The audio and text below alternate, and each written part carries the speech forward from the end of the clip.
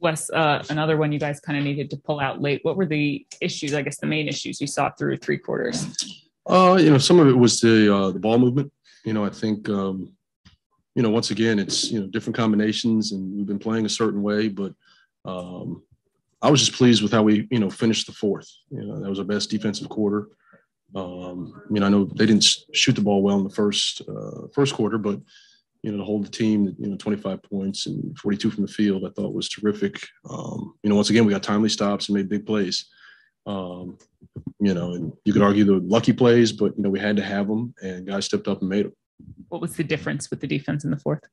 Bottom line was just did it a little harder. There's a little bit more effort, and you know, I thought throughout the second half, um, we just did a you know better job of trying to keep the ball in front, um, giving multiple effort, getting in the gaps, and showing strengths. Um, you know, they were living in our paint first half, and I, we did a much better job in the second half of trying to limit that. Um, obviously, opened the three a little bit, but you know, it, uh, it it was better than you know the alternative. You said you wanted to kind of give Spencer just some more shooters around and put the ball in his hands more. How do you think he did tonight with that? I thought it was good. I mean, his level of aggression, um, I think 10 assists and no turnovers. We and uh, collectively had zero turnovers in the fourth, which is big for us. Um, being able to take care of take care of it and value possessions, um, just to ensure you get a shot up. You know, I think that helps in, in, a number of ways. You know, even on the defensive end, you're forward balanced and you got a chance to get back. Coach, was that first half defensively one of those care factor first half? Um, I wouldn't characterize it as such. Um, I didn't think we played with the same level of energy as we did in the second half. Uh, there were some coverage breakdowns, but I, I, didn't feel I didn't feel that way as far as it being a, a care factor. No, it was more in my in my opinion. It was more the, just the lack of communication and uh, in, in our breakdowns. Um, you know, they're cutting hurt us, you know, off ball movement, um, the downhill attacks, and some of that is it's tough. Shai's he's exceptional. He's the number one, two. Uh, I'm sorry, the second offensive uh, or ISO scorer rather in the league. So that's what he does. And you know, early I thought he uh, just saw daylight and got downhill, and we did a better job as the game went along, trying to show bodies and keep keep him in front. When Kyle gets downhill, why is he as effective as he is? In other words, it, it it, we know it's not effortless, but he makes it look that way at times. Right. Well, I mean, he he is six ten, you know, so I think people don't realize that with his size, um, his ability to play off the bounce, he, he gets to a spot. You know, he's a, he's a big guy, so he uses his body his leverage. He creates and initiates contact. It's it's tough to guard. Rui came in late in the game a couple times on defense. Uh, what kind of versatility does it give you? Well, it goes back to that, you know, that size, you know, component. You, you can switch with him. He, he's able to keep guys in front, move his feet. You know, his size allows him to rebound, um, but just kind of gives you that little bit more flexibility um, when you quote unquote downsize. You know, you're really not going small. And what kind of impact does it give you in the paint on offense? Well, we're still learning that, but I think you know he he can get downhill, especially to his left hand. Uh, he initiates contact and, and, creates carves out space. Um, so I, I want to see more of it. You know, and we got to help put him in positions to uh, get those opportunities. But you know, I think he can do that with ease. Um, I think his ball skills have improved. Uh, I've seen him shoot the ball um, exceptionally well. You know, through this you know stretch here. Um, it hasn't necessarily translated into the game, but it, but it will. And so I think that's going to be an added dimension for him. Two different guys that see clutch threes today in the fourth quarter. What, what do you make it that? It's nice, nice to have you know, guys that are able to step up in the fourth. Oh, it's huge. I mean, it's uh, it's invaluable when you have those guys who aren't afraid of the moment. And uh, I give those guys a lot of credit because they, you know, they're coming from uh, a situation where they've won a championship. So Kyle's done it, Pope's done it. You know, Corey made big plays tonight. So, you know, it's good to see him kind of reap the benefit. You know, I think he puts a lot of time and work, and you know, hasn't shot the ball great as of late. So to see him going tonight was uh, was good for him. Uh, but yeah, Pope and those guys, um, they've done it all year, and you know, it's it's it's why they're here, and that's why they're going to continue to be a big part of what we do. 24 minutes from Montrez and, and uh, few, you know, high energy plays. What did you see from him tonight in his first game back? Well, it's great to see him out there. I mean, his energy, his voice, Um, that's what he does. You know, and I think it's important because we, we, haven't had that in a while. But uh, he's he just brings that energy, that excitement. Um, he's going to get you those second possessions. He's going to get on the rim. Um, he's a guy you can play through in the post. Um, so I think it's just just gives us another layer, another guy we can play through. Aside from the shooting, how did Corey look tonight, just in terms of his comfort level and his? Uh, just seemed like he was more uh, playing rather than taking things. Uh, yeah, maybe. I mean, I thought he, uh, you know, initially we had him on on on Dort to start the game, and that's a tall task. Um, you know, to, keep a guy like that in front, and he was. I thought he did a you know solid job there. He made a huge play late. It was a big block. Um, you know, in the paint, save a layup. Um, so I think he's he's he had an all around great great night. You know, I think it's um it's good to see him kind of get back and make shots, but for him to make those defensive plays and be in the right spot, I think it's uh, gives not only himself confidence, but gives us confidence that you know he can he can play in those moments. Wes was saying that uh, he was literally texting his teammates when he was watching games from home. Do any of those ever reach you? Uh, we we did text quite a bit, and um, you know it's you know just more so to check up, you know, see how he was feeling, you know, where he was at. I asked him, you know, you know, what do you see, and you know, because it's always, you know, we look through it, we look at it as, through a certain lens, and sometimes, you know, when a player's not involved, they have a different perspective. So, uh, you know, and I, I, did the same thing with all those all those guys. But um, I'm glad he was watching. I'm glad he was reaching out to guys and, and, and staying as connected as you can. You know, given his circumstance, because you know it uh, uh, doesn't always happen. So it was good good that he uh, was doing that. Neil. Hey, coach, you talked about the communication as some of the defensive breakdowns. Is that just because of new personnel?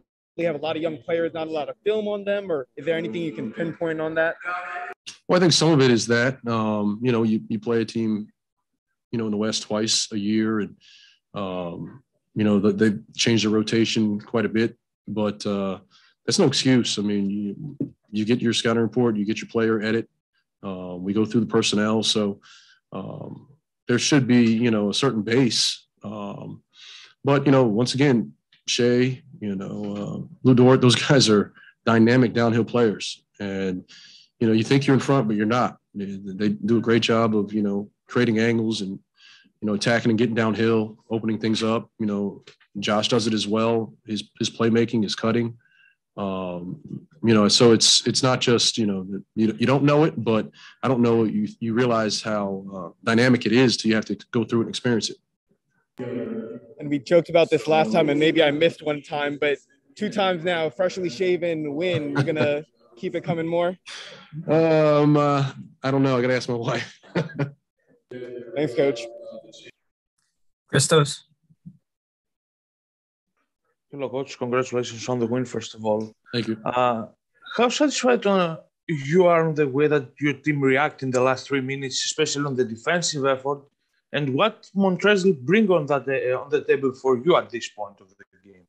Uh, you know what? I, I was very pleased with how we responded. Um, you, you, know, we, we kept talking about, hey, we got to get our defense into the game, and obviously, fourth quarter, um, you know, it's winning time, and we were able to do that. So it's it's important to obviously at that junction of the game, but you know we can't wait. Uh, you, would like to see more of that throughout. You know, we're not going to play a perfect 48 minute game, but uh, being able to sustain that level, um, you know, that level of, of, effort, concentration, of connectivity, I think is important as far as uh, you know, really, you know, uh, winning at a, at a high level. Uh, we can't turn off and on. And so I think that the more we can do that, uh, the better. Um, and then Trez, he's a part of that. You know, his energy, um, his voice, his his passion for the game, I think is important. Um, it, it, brings life and pulse to, the, to our group, and you know, it, it, showed tonight. Thank you very much, Coach. Last question to Wayne. Hey, Coach. Um, those first three quarters, it seemed like SGA and Giddey were getting anything they wanted passing wise. How did you all stop that in the fourth quarter? Honestly, it wasn't a whole lot, uh, you know, of uh, schematic changes. You know, I, th- I, thought our overall effort was better. Um, you know, we, we mixed and matched lineups to to better switch. You know, to, to keep a better defender. You know, in those switch situations. But And honestly, I just thought we were um, we put forth a little bit more effort, uh, a little bit more energy, and I thought we we played better as far as being on the same page. It wasn't anything dramatically different. Uh, we just decided to lock in and, and get it done. Also, coach, usually in the NBA, it's a lot of travel. With the eight game homestand, what are you looking forward most to keying in on uh, taking advantage of this? Well, you got to take it game by game. You know, we don't want to look too far down the line or, you know, worry about opponents, um, you know, throughout this month. And the most important game is the next one. Um, so learn from tonight. Obviously, we, you're playing an opponent that we just played. So that should be fresh on our mind. They're, they're going to come in and play hard, you know, as we saw um, the Oklahoma City Thunder do. So we can't look past anybody. And it's just uh, regroup, you know, make sure we're, we're locked in and ready to go tomorrow night. Uh, lastly, coach, with the news of Thomas Bryant, how does it feel now to almost have the full team back uh, together? It's exciting. I mean, I think it's well overdue, and you know, it's nobody's fault. It's just a situation we find ourselves in.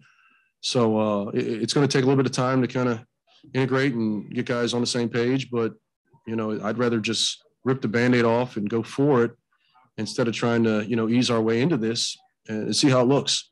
We've got a lot of guys who compete, a lot of guys who've won us, you know, a, a ton of games. So um, it's good to have that depth and flexibility. Um, and now you're adding two more guys that uh, can, can contribute at a high level. Thank you, Coach. All right, Coach. That's it tonight. Appreciate you. Corey, how big was this last, uh, I guess, a couple weeks stretch of games where you were getting more minutes because you were shorthanded? How huge is that for you? It's, it's been, you know, one of the biggest things to happen for me this year um, you know, by luck of the draw or just kind of going home and not really seeing anybody, I was able to not catch COVID, stay healthy for, this, for that stretch, and um, it led me led me to more minutes and um, more playing time and experience. And every minute I'm out there, I feel more comfortable and feel better and better. So, um, really happy that that that, that happened, and um, looking forward to more. I'm sure it feels like big leaps since it's you know you're learning something. You've got a lot to learn, I guess. Mm-hmm. Um, what do you feel like you were able to focus on most or improve the most? Or feel uh, I just took a lot. I mean, it wasn't really. I mean, I, I'm playing the same game as I did the whole time. It was just, um, just being out there, playing through mistakes, um, kind of just getting that pressure that I put on myself off my back, um, and playing with more freedom. Um, that was really it. I mean, nothing really changed as far as what I'm seeing or how the game's going. It's just um, playing through mistakes, letting the pressure off myself, and um, you know, letting the results come. Where there was that uh, the turnover, it was in the second quarter, um, right after the loose ball turnover.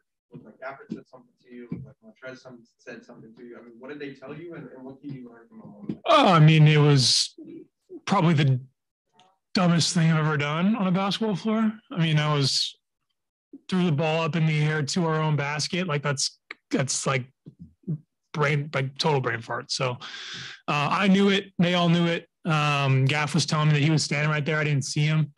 Um, and then Trez was letting me know, you know, we had timeouts. Um, you know, like let them come to you. I mean, he gave me a bunch of different advice, but at the end of the day, like I knew I messed up and they knew that too. So um, just kind of giving me little pieces of advice and uh, moved on.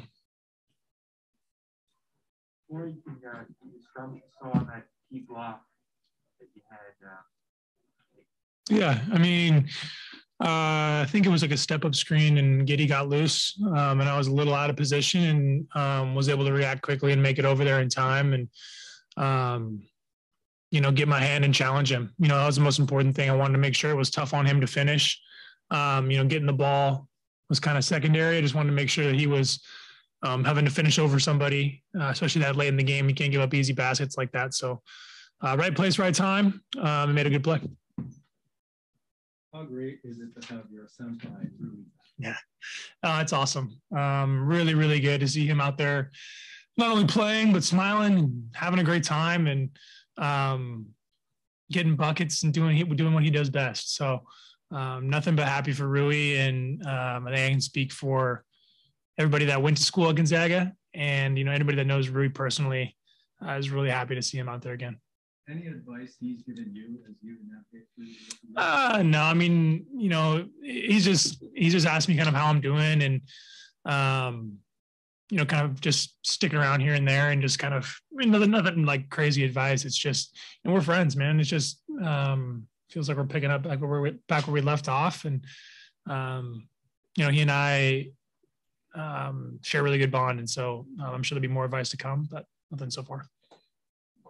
Corey, I know it's in your nature because you're a shooter, but you play with a lot of decisiveness on offense. Mhm. Kind of where does that trust in yourself come from, or lack of hesitation? Is that something you Yeah, I mean, no, it's it's part of my game, you know. Like it's it's always the first option shoot, the second option shoot, and the third option shoot, and then the fourth option's you know play off play off a closeout. So um, that's just kind of the way I was wired and the way I've grown up to play, and um, those reads and those decisions just kind of come easy. And yeah, like you said, it's all about just trusting myself and um, letting those plays you know unfold after I make a decision.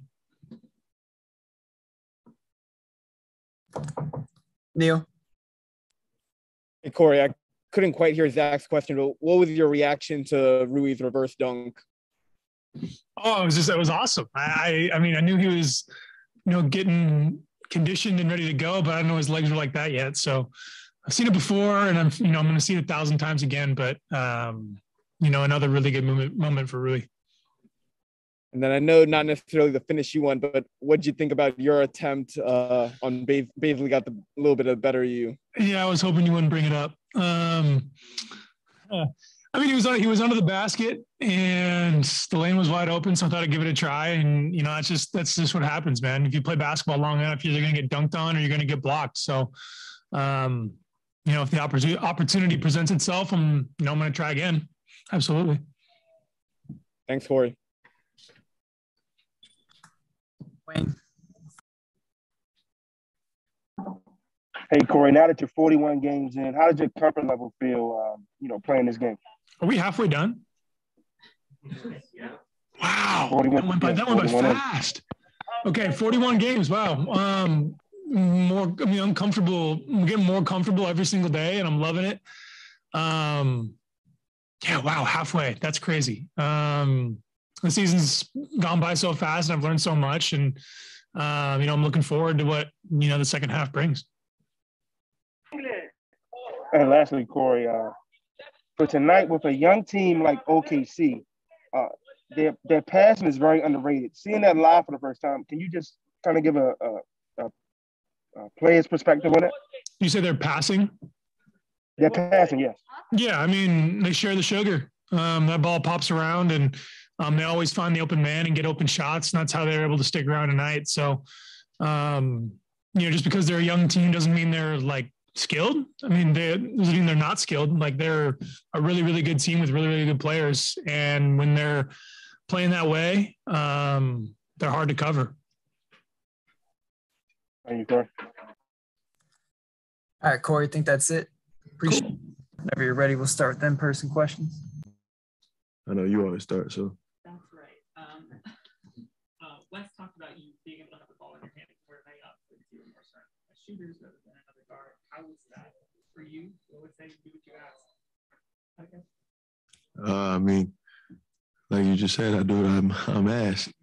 Um, yeah, I mean, surrounded by shooters, uh, playing a little bit more pick and roll. I mean, just trying to make plays, man. That's really, that's really it. Um, and make plays in my mind is an all-encompassing thing. You know what I mean? Sometimes it's going to be maybe as a screener for Brad, right? Sometimes it's going to be Pope gets downhill and I got to set a hammer for Kuz so he can get a corner three.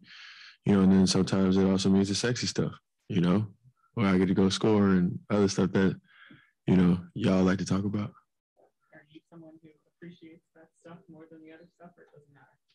Oh no, I'm not gonna sit here and lie to y'all. Like everybody love getting 20. Mm-hmm. You know what I mean? But I I understand that the sum is greater, you know what I'm saying, than than any single individual. And so, you know, I understand sacrifice and I've been a lot of different points in my career and I'm thankful to be here and you know everything that they've given me in terms of just, you know, believing in me. So I'm willing to sacrifice some aspects of my ego and things to try to have, you know I'm saying, a better group in general. Spencer, what have you noticed about um, Corey since you've come back out of after he had that time to play?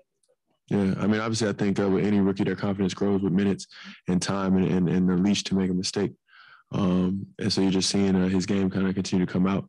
And he's another smart basketball player, you know, knows when to cut, knows when to stay spaced and shoot and, and plays within himself, but is aggressive also within like what he is good at. So, you know, that's it's a really smart basketball player. And, you know, it's been a pleasure to, to have him as our rookie.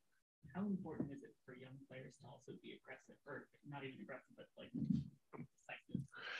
Yeah, actually, I think uh, decisive is a great word, um, but it's super important. You know what I mean? I think uh, hesitancy is where mistakes are made.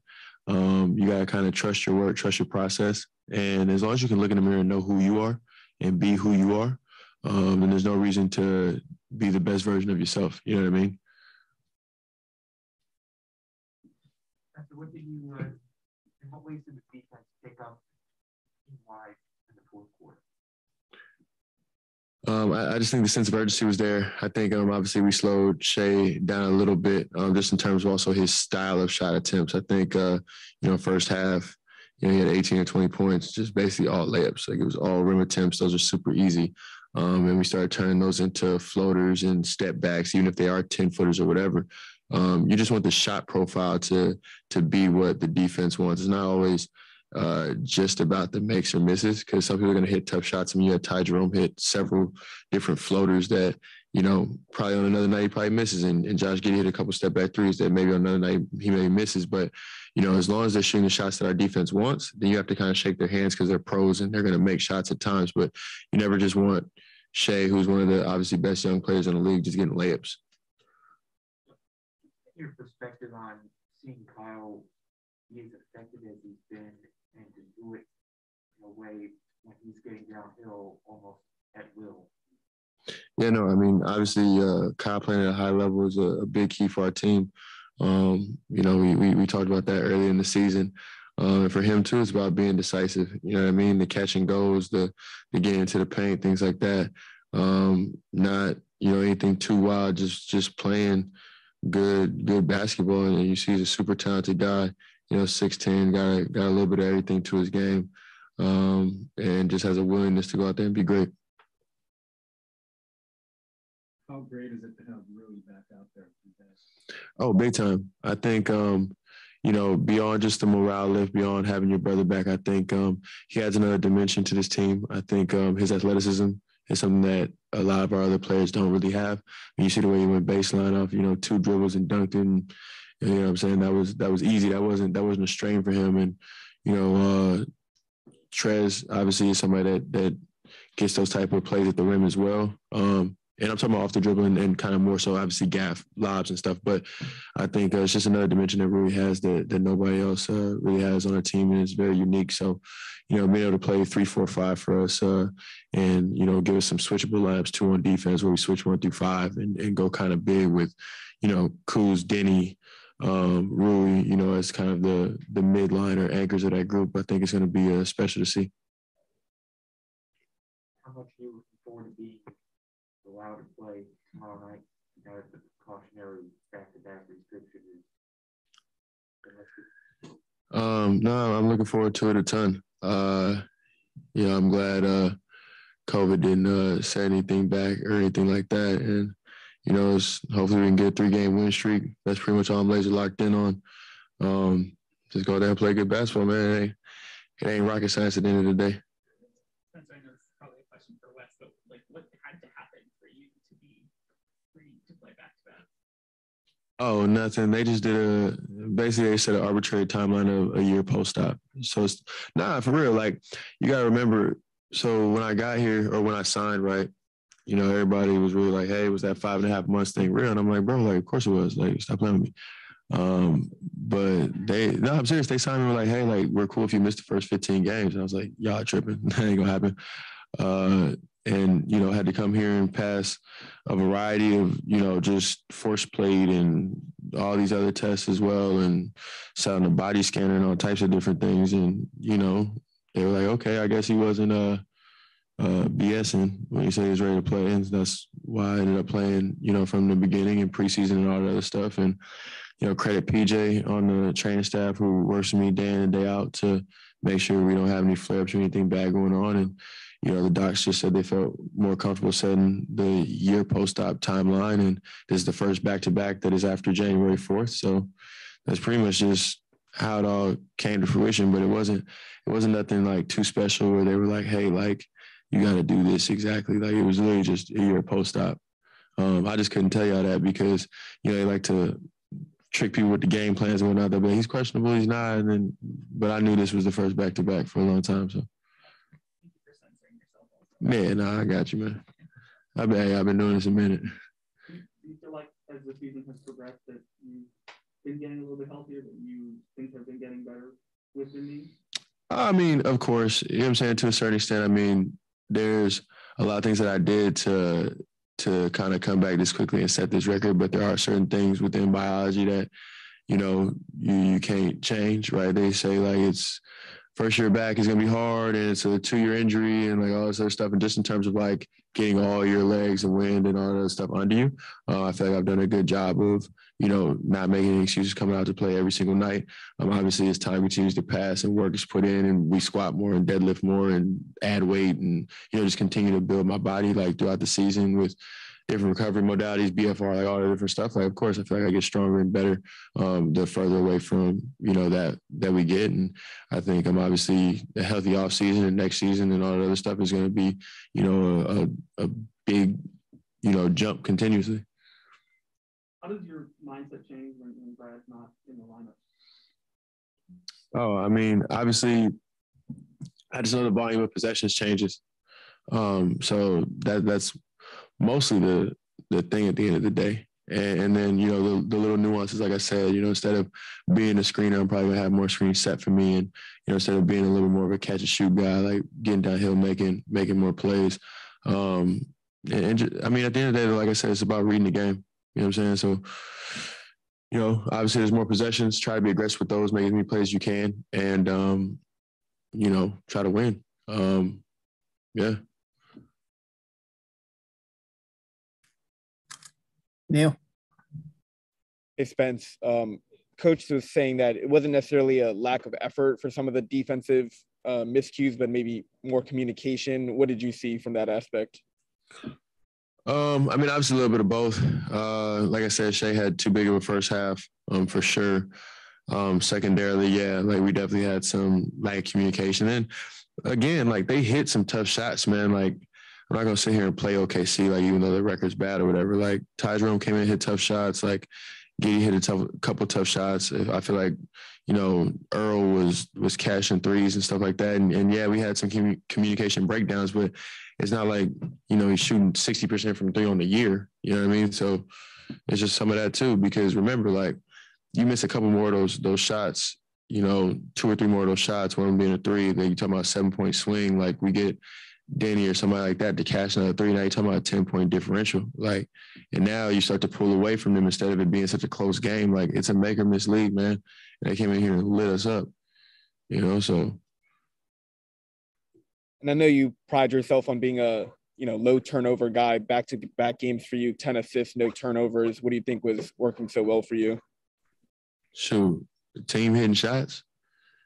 And then, you know, not turn it over. Not not to be like cliche or nothing, but just being smart, seeing the defense, not turning it over, and then you know I'm not the flashiest pass in the world, so you know sometimes it just comes down to guys hitting threes. I mean, I'm pretty sure I got an assist for Pope banking in that three to to win the game basically, and you know that's a that's a good play on his end. I mean, I drew the help or whatever, but it wasn't nothing like too crazy. Like he had to bank it in. So thank you, Pope. Thanks, Spence. No problem. Last question to Christos. Hey Spencer, hope you're doing well. Congratulations on the win, first of all. Uh, for you personally, that performance, that win, how how confidence booster for you is this? How big confidence booster for you is? Me personally? Yes. Oh nah, bro. Like that. 22 and 10 ain't really like what's gonna boost my confidence. No, uh, not to sound like crazy or nothing. Like maybe if it was like 40 and 15, I'd be sitting here like swagging on y'all. But I mean, like people put 20 and 10 every night. Like I'm I'm happy that we won though, because that would have been a really bad loss. Like OKC's not the greatest team in the world. Um, so it's it's more so about the win than anything. but yeah, I'm not gonna swag on y'all for 20 and 10. That's that's that's not me. Thank you very much. Keep up. No problem. Thanks, big dog.